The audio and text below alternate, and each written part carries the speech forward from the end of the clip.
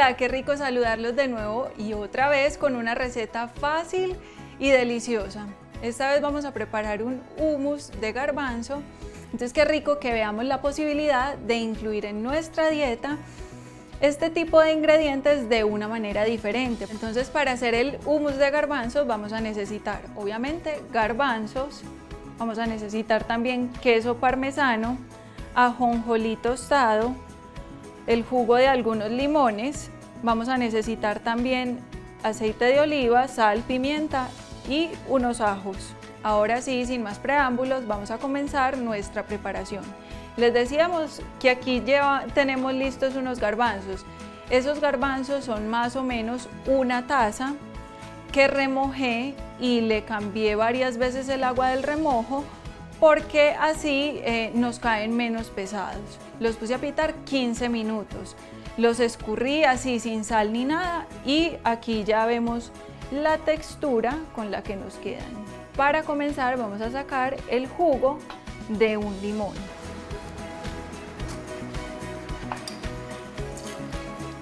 Les voy a enseñar un truco para pelar el ajo.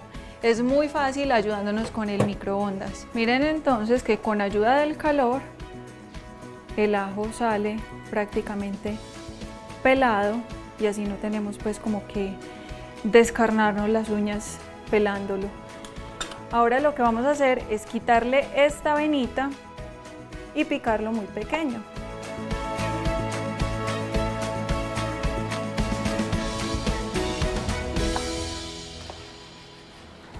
Listo. Ahora, con ayuda de la licuadora, entonces vamos a procesar en primer lugar los garbanzos y vamos adicionando juguito de limón y aceite de oliva como para espesar un poquito. No es necesario aplicar agua, ni harinas, ni nada. ¿Listo? Entonces vamos a comenzar. Adicionamos un poco de garbanzos en nuestra licuadora. Le vamos a echar un chorrito de aceite de oliva. Vamos a echarle también un chorrito del jugo de los limones. Igual un poco de queso parmesano y le ponemos un poquito de semillas de ajonjolí y vamos a procesar.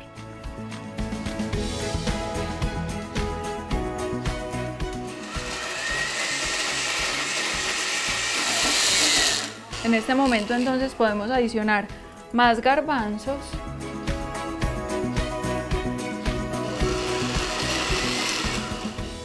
Listo, entonces cuando vemos que ya tiene como una consistencia similar a la del puré, es porque ya está listo nuestro humus de garbanzo. Entonces lo vamos a sacar de la licuadora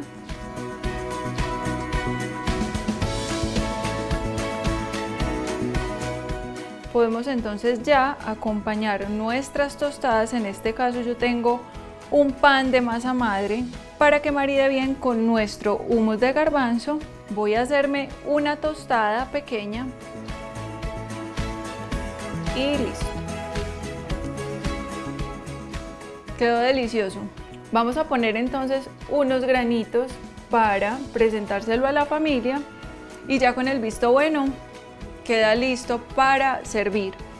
A ustedes entonces los espero en otra oportunidad porque recuerden que tenemos recetas para compartir en familia y todas con ingredientes fáciles de conseguir y sobre todo muy saludables. Chao, chao, hasta la próxima.